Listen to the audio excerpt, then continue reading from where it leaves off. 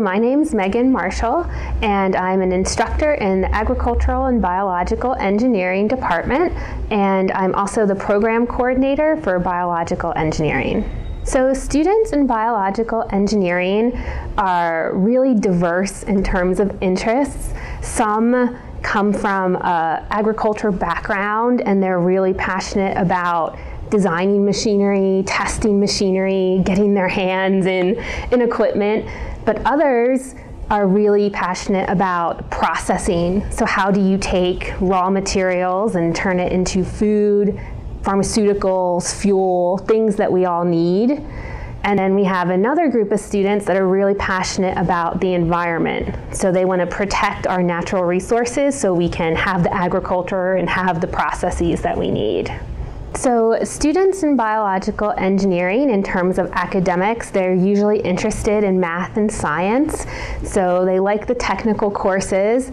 They really like problem solving, so puzzles and trying to figure things out.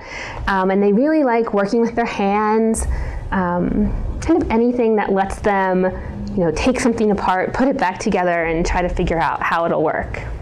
Our major is unique, the biological engineering major, in that we are supported by the College of Agricultural Sciences, but our students are actually graduate from the College of Engineering and a good thing about that that does attract a lot of students is that we are an accredited engineering program and a very broad engineering program so our students are well prepared to go on someday and be licensed engineers. So when students graduate with a biological engineering degree, uh, depending on those interests, they can go a variety of places. Um, some students, they go and they work for equipment companies like Case New Holland and Manitowoc Equipment. Uh, some will go and work in the processing industries, um, Hershey's, Campbell's, um, pharmaceutical companies like Merck, um, PepsiCo, uh, Turkey Hill, all kinds of processing companies. And then the students who are really passionate about the environment, they might go and work for state agencies or uh, federal agencies like the Natural Resource Conservation Service or even private consulting companies.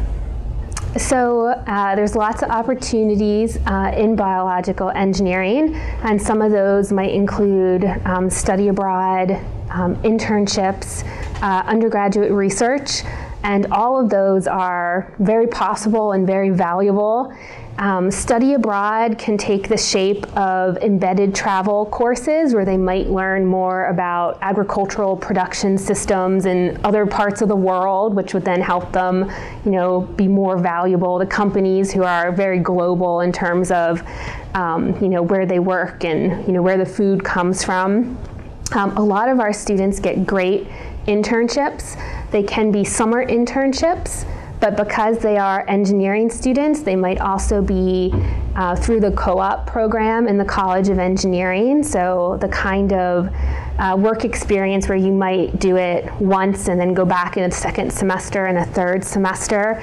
And uh, just uh, in this past summer, we had students uh, at great places like Frito-Lay, um, Case New Holland, um, Archer Daniels Midland.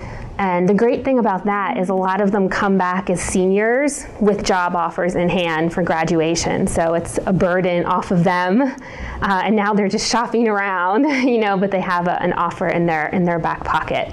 Um, and undergraduate research as well. We have a lot of undergraduates who get involved both in research labs within our own department um, as well as other places on campus.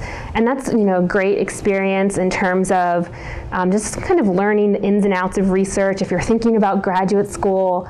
Um, and it's also an experience that might then lead you to get an internship or um, you know some other work experience.